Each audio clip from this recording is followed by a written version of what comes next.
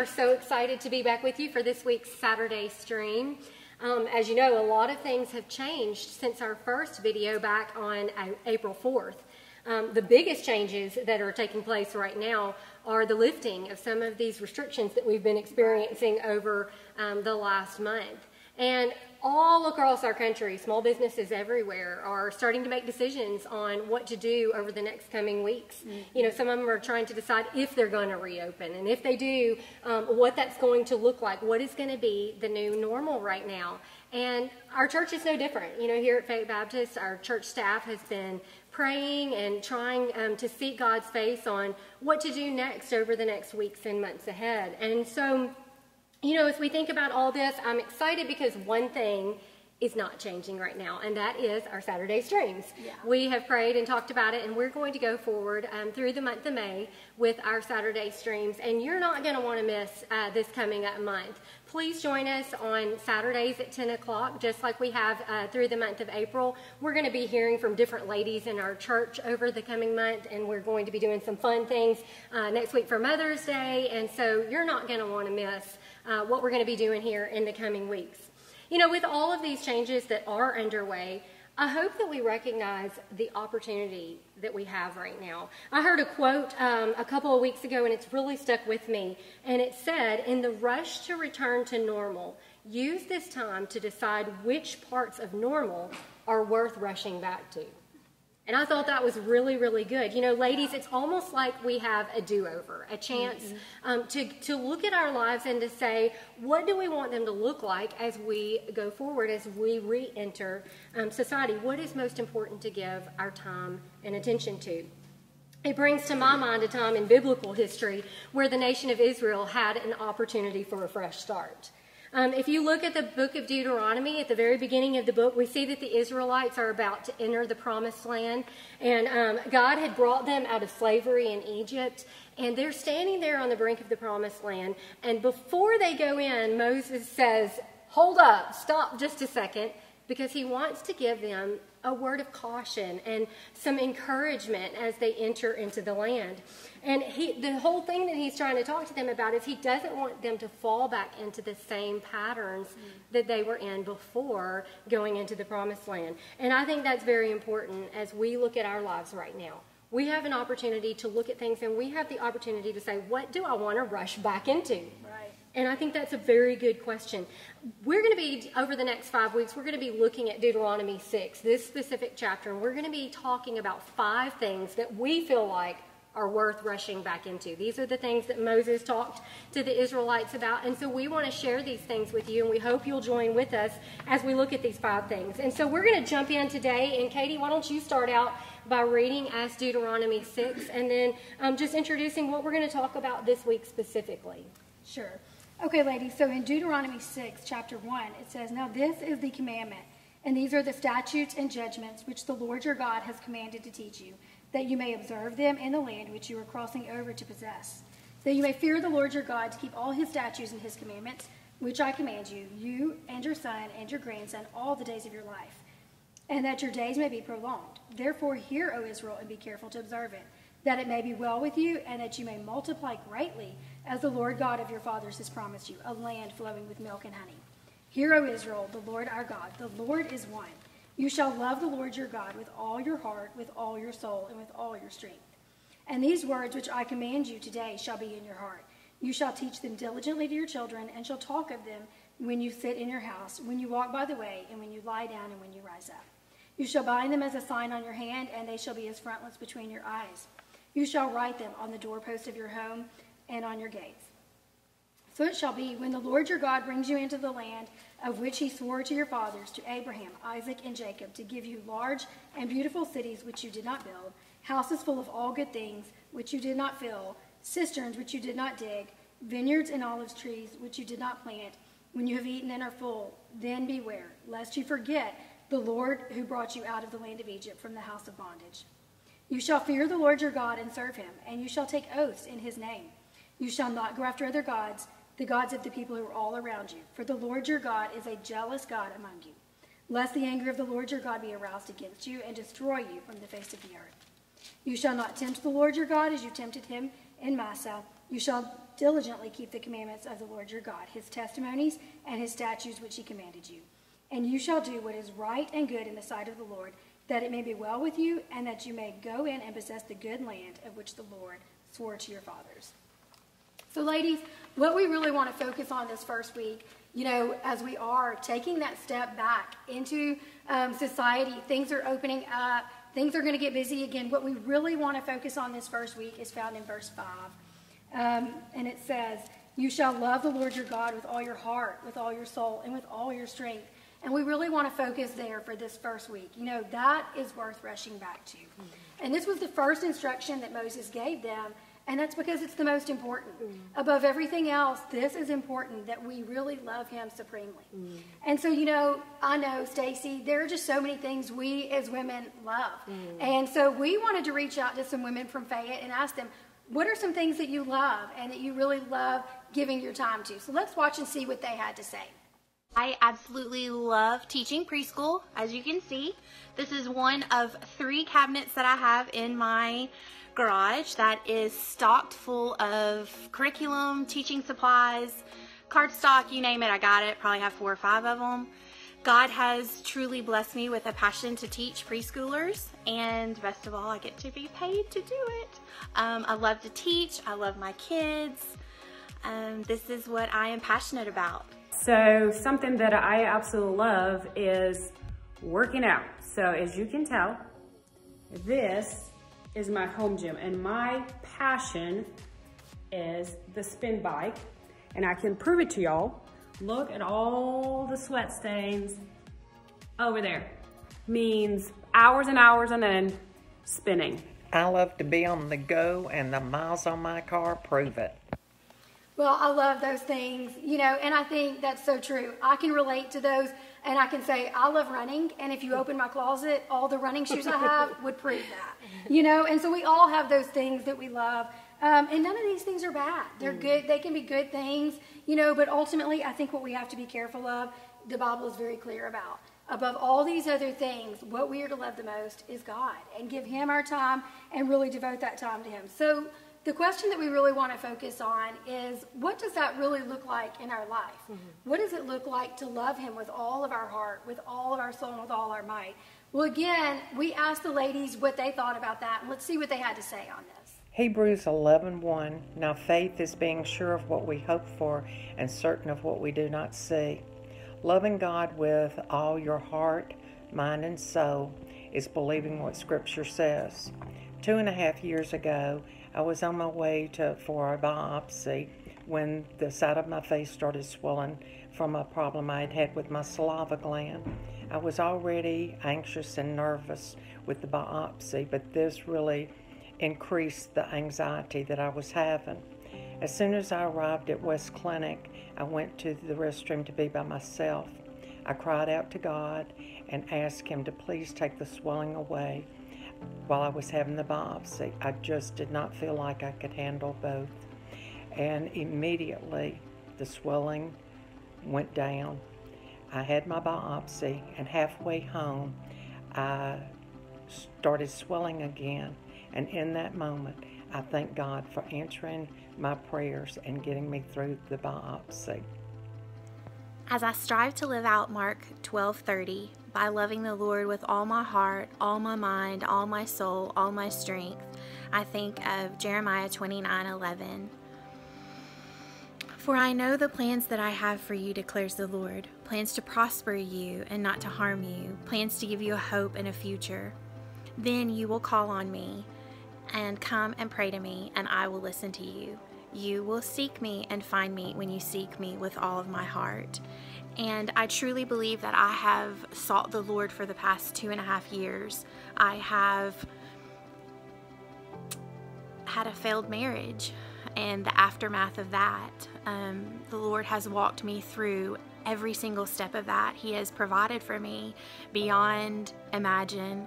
Um, and I have changed dramatically. My prayer life is more intimate and more meaningful. Um, I'm in the Word daily.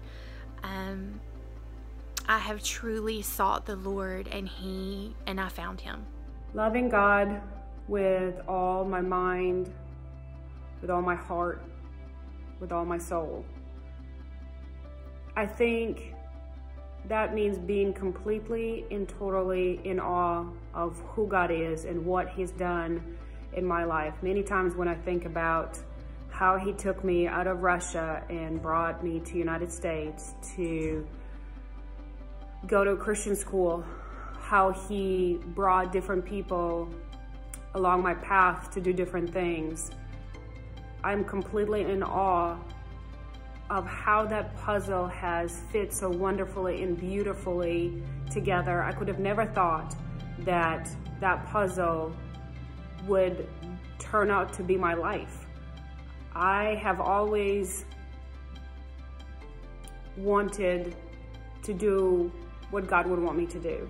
And that means spending time with Him through prayer, knowing His heart, knowing His direction for my life even now I realize as I'm growing and on this Christian journey that unfortunately I don't do what I'm supposed to do majority of the time, but God is still so faithful and so loving and so kind. My biggest desire is to be so consumed with God that I cannot wait to see him one day, that I cannot wait to hear his voice, my desire is to be able to hear his still small voice every day of my life. And I guess that what it means for me to love my God with all my heart, soul, and mind. Well, I think everything that these ladies had to say is so good yes. and it's so true. You know, when I think about loving God with all of my heart and all of my soul and all of my might, I just believe that means my entire being. Mm-hmm. It means everything. You know, I'm supposed to love God with everything. And I love one of the quotes that Tony Evans said. He said, Some of us Christians love God with some rather than with all, yet we want all of God. But you can't love God some and love the world some because these two are antithetical to one another. That's so true. I think for all of us, um, our love for God can show up in two main ways. Those two ways are in our obedience and our time. Now, talking about that first one, many people do not think about obedience being correlated with love, but it really does have a lot to do with one has a lot to do with the other. Uh, most of you ladies know that Katie and I are sisters, and um, we have an amazing father. Yeah. I mean, my dad is the best. I hate to say it, but my dad's better than yours. Just kidding. Um, but our dad is a great dad. But I can remember growing up, he so many times would tell me that I had to do something that I didn't want to do, or he would tell me that I couldn't do something that I did want to do, and I would get so angry. But at the end of the day, I usually obeyed him. Mm-hmm. Was it because I wanted to do what he was saying? No. It was because I loved him. You know, I loved my dad so much that I wanted to please him.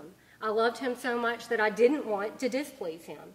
And I think for us as believers, you know, we need to ask ourselves, do I follow God's commands? Because if we love Him, we're going to want to please Him. We're going to want to follow Him with our whole hearts. And so we need to ask ourselves that are we obedient children? That's going to show how much we love God. But another way is our time. And um, it is true that we should be asking ourselves, how much time do I give to the Lord? Mm-hmm. Um, you, know, you ladies know Pastor Drew is my husband, and I just have to tell you something about him. He is a great gift giver. I mean, the guy knows how to give really good gifts. He's that guy who, on his birthday, gave me an Apple Watch.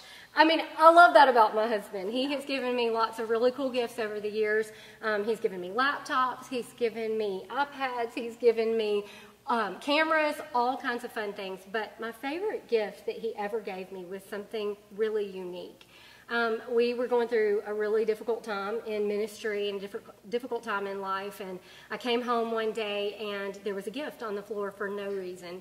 And he said, I just wanted to give you a gift, open it up. And so I opened the gift up, and in the box was a very inexpensive little clock. I think it still had the $2.88 um, uh, thing on it from, from the store, and underneath it was a calendar, and it was a blank calendar. And he looked at me and he just said, Babe, I wanted to give you my time. He said, I want to give you my time. And that meant so much to me. That was better than any other gift that he could give me. And that night we sat down together and we just looked at our calendar and we filled in things where that we could spend time together as a couple, time together as a family. And that proved his love to me. Mm-hmm. It showed me that he cared about me because he was willing to give me something that was very valuable, and that was his time. And you know, if we love God, we're going to want to spend time with him. We're not going to be satisfied with one hour a week on Sunday mornings spending time at church or online. We're not going to be okay with that. We're going to want to give our time to God because we love him so much. Probably all of us have been in relationships or friendships at some time in our life where that, that person's told us, I love you so much, I care about you so much, but then they never text, they never call, mm-hmm. they never spend time with us. And after a little while, we begin to doubt their love because time equals love. I mean, that shows our love for someone when we spend time with them. And so, Katie, I think that we can ask ourselves, you know, do I really love God with my whole heart? Well, it's going to show if we're obedient children and if we give Him our time.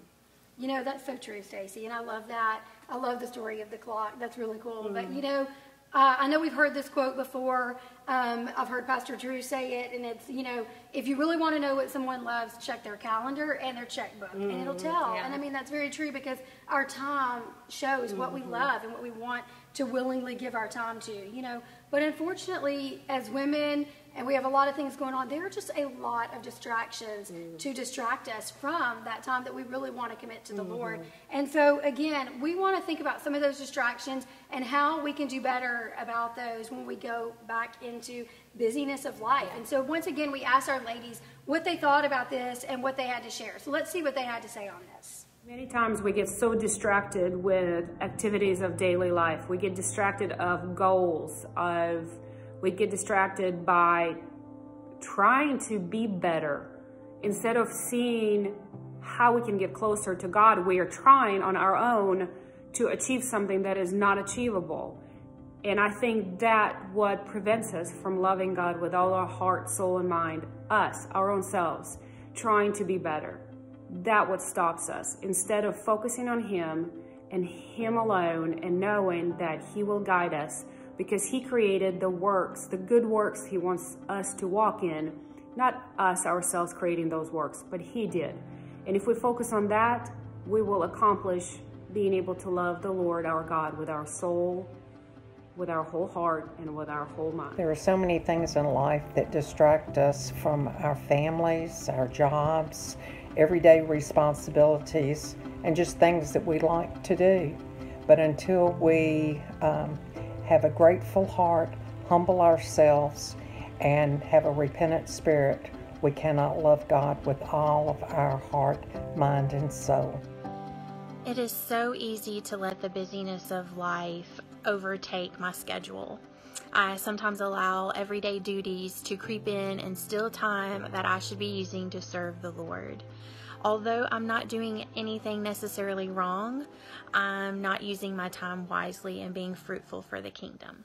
Well, you know, Stacy, everything they had to share really are very real distractions. Mm-hmm. You know, we all face different distractions, but one I think across the board that we all face is busyness. Yeah. And this has been a really unique time to just have that kind of slow down. But busyness is a very real distraction mm-hmm. from even the things, that, the time that we want to commit to the Lord. And so as we begin to re enter society, you know, we're going to be back at the ball fields, at mm-hmm. work, um, at church, you know, doing ministry things. All these things are going to come back into our lives, and we have a time to choose now. You know, what all am I going to return to? How am I going to guard my relationship with the Lord and keep that as my priority?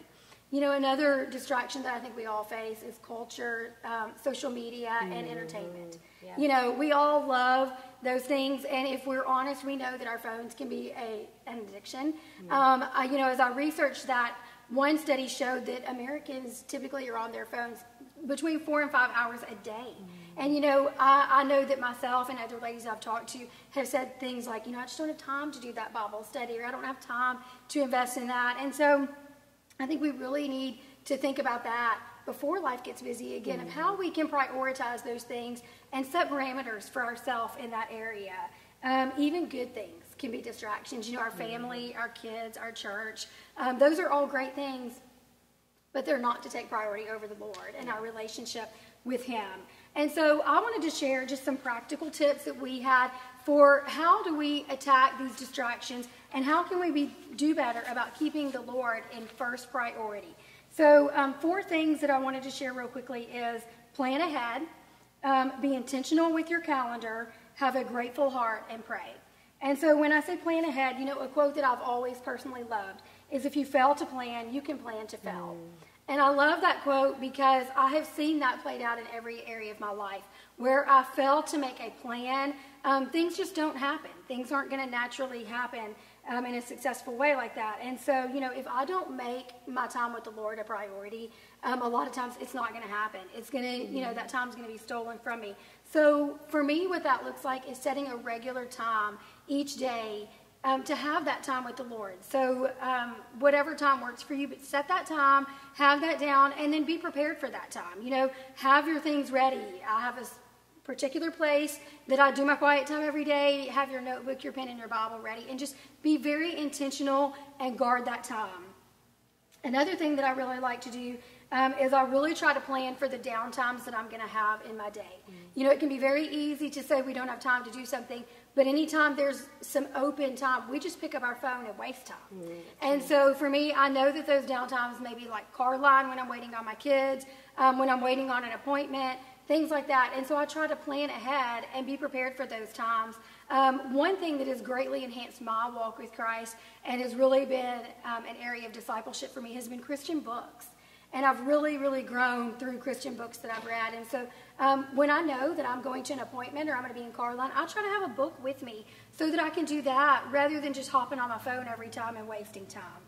Um, another thing, like I said, the phone is an addiction. For some reason, we just want to pick up our phone when we have a minute. So I do try to have things on my phone that I can do that do benefit me mm-hmm. and really, um, again, help in my walk with Christ. I love, I have a scripture memory app that's kind of like a game that helps you memorize your scripture. I love that.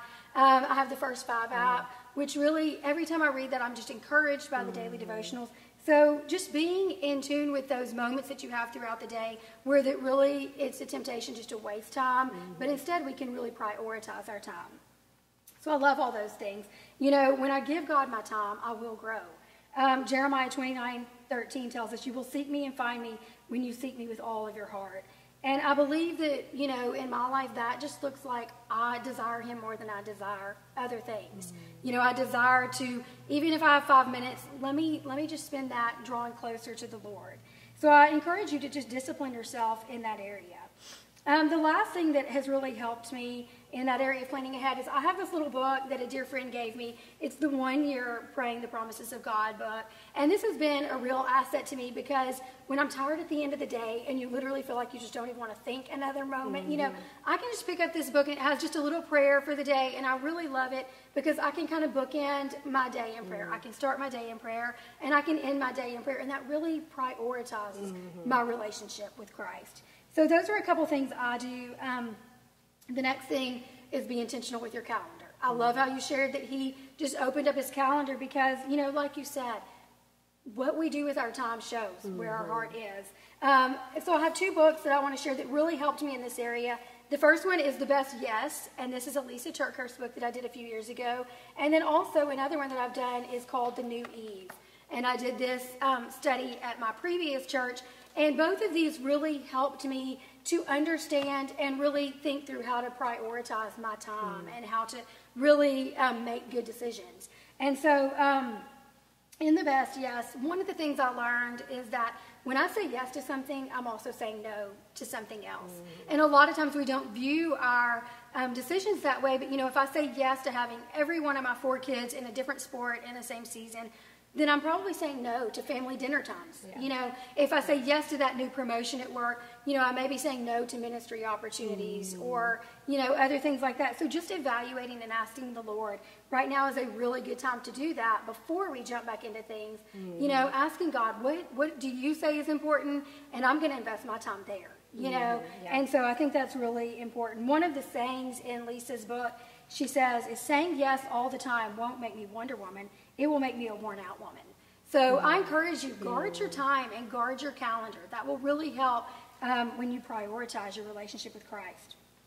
Matthew 6 19 says, Do not lay up for yourselves treasures on earth where moth and rust destroy and where thieves break in and steal, but lay up for yourselves treasures in heaven where neither moth nor rust destroys and where thieves do not break in and steal. Mm-hmm. So I think we just really have to prioritize where we're investing. Mm-hmm. Um, the next one, I love that Ms. Donna shared this in her video, and it was about having a grateful heart. And I know that that might sound weird when we're talking about, you know, practical tips, but I really think that is a practical tip because gratefulness really produces love. Mm-hmm. You know, when we are really grateful to the Lord for all that He has done for us, we're going to love Him more. Mm-hmm. And that's just going to make us desire to spend more time with Him. You know, and so um, I just really think it's important to think back on those things that the Lord has done for you, and mm-hmm. just to remember those things, and you will, your love for Him will grow, and mm-hmm. you'll want to prioritize that time. Mm-hmm. The last, and I feel like the most important tip, is just to really pray and ask God where your greatest impact is. Mm. Um, you know, I know that I have limited time, I have limited energy, where that I can spend my time, and so I feel like we're all that way as women. Mm-hmm. You know, there are so many choices out there today of what we can spend our time doing, but we do have to make choices. We can't do everything and do it well. And so, um, one of the prayers that I pray regularly um, because I do know in different seasons it changes. And so I ask the Lord, you know, God, in this time, where is my greatest impact? Mm-hmm. Where am I going to invest that's really going to produce fruit and do kingdom work? Right. And so I ask that of the Lord daily. And then another thing is um, I love how Joy shared last week about just asking the Lord to purge what you don't need from your mm. life. Now is the time that we need to do that, ladies, as we look forward to what's up ahead, as uh, going back to our jobs, going back to the kids in school, all the other things. You know, now is the time to ask, Lord, is there something that you want me to purge and take out? Is there something that I don't need to return to? You know, Proverbs 3, 5, and 6 tells us, lean not to your own understanding, but in all your ways acknowledge him, and he will direct your paths. And so I think that part of prioritizing that time with the Lord is knowing what's on his heart mm-hmm. and just making the time to do those things. You know, life is short, and we have mm-hmm. to choose to invest in things that are eternal rather right. than temporal. So, as we wrap up for today, ladies, I just want to challenge you this week to really sit down with your calendar. Mm-hmm. Think about what's to come in the weeks ahead. Prioritize that time. Make your plan for how you're going to spend time with the Lord daily. Um, you know, maybe find a Christian book to start reading that will really enhance your walk with Christ. And I believe that as it says in Deuteronomy 6, verse 3, it says, Hear, O Israel, and observe to do it, that it may be well with you, and that you will increase mightily. And that's my prayer mm-hmm. for us. As we go back to what we call our new normal, mm-hmm. um, as we go back into our normal lives, I pray that we will prioritize making the Lord our number one priority, and then we will see our church flourish, our yes. families flourish, yes. all those other things. And so, ladies, I challenge you to do that mm-hmm. this week. So, thank you for joining with us, ladies. Um, I do want to encourage you to join us next week. We have mm-hmm. some special things lined out um, that are going to be fun. So, join us for that. Also, um, be watching on our Women's Ministry Instagram page. We're going to be doing um, some fun things on Tuesday, so be watching for that. Um, our Instagram is Women of FB. If you don't follow us, please do so. And then um, we'll look forward to seeing y'all next week. So, Stacy, would you close us in prayer? Absolutely. God, I just thank you so much for your word. And God, I thank you that through it we can know you more, God. We can know you more intimately. We can grow to love you more. God, you are so worthy of our love, God, our entire love. And I just pray that as women, we would take this opportunity to stop and to think and to meditate on what you're trying to speak to us during this time, God. I pray that we would have open ears and open hearts and open eyes to see the things that you're trying to teach us right now during this season, God. I pray that we would learn to love you um, with our entire hearts, with our entire minds, with our entire souls, God.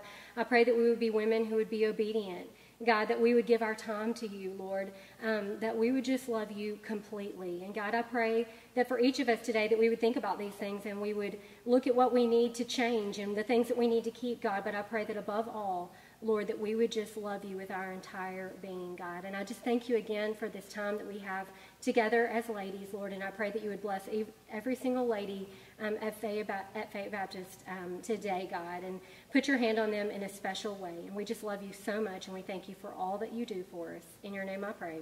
Amen.